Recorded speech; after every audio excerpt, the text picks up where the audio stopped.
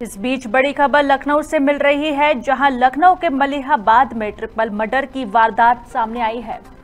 खबर आपको लखनऊ के मलिहाबाद से बता रहे हैं, जहाँ ट्रिपल मर्डर की वारदात सामने आई है। ज़मीन विवाद में गोली मारकर तीन लोगों की हत्या की गई है। बड़ी खबर लखनऊ के मलिहाबाद में, जहाँ ट्रिपल मर्डर की वारदात सामने आई है। ज़मीन विवाद में गोली मारकर तीन लोगों की हत्या कर दी गई है। वहीं फरीद की पत्नी, बेटे और चाचा की गोली मारकर हत्या की गई है। बड़ी खबर लखनऊ से, जहाँ आरोपी लल्लन खान ने वारदात को अंजाम दिया है। आरोपी लल्लन खान ने इस वारदात को अंजाम दिया है, जहाँ चार साथियों के साथ वारदात को अंजाम देकर मौके से फरार हो गया है। वहीं पुलिस ने घटना में इस्तेमाल थार गाड़ी बरामद की है। और इसी के साथ आपको बता दें कि लाइसेंसी असलहा भी पुलिस ने बरामद किया है। जहाँ मलिहाबाद कोतवाली के मोहम्मद नगर का ये पूरा मामला है। आपको बता दें कि हिस्ट्री शीटर लल्लन पर करीब दो दर्जन मुकदमे दर्ज हैं।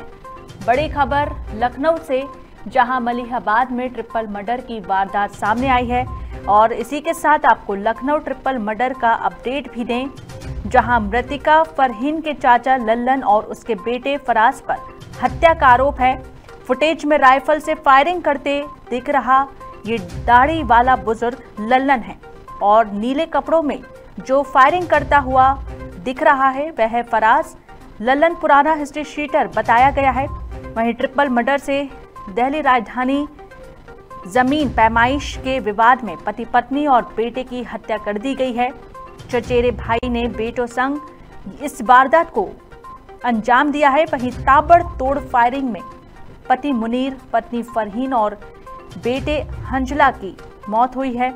मृतकों के चचेरे भाई यानी कि शिराज और उसके बेटों पर हत्या का आरोप दर्ज हुआ है। बता दें कि विवादित ज़मीन का एसडीएम कोर्ट में मुकदमा चल रहा था। पुलिस को बगैर सूचना दिए पैमाइश के लिए लेखपाल पहुँचा था।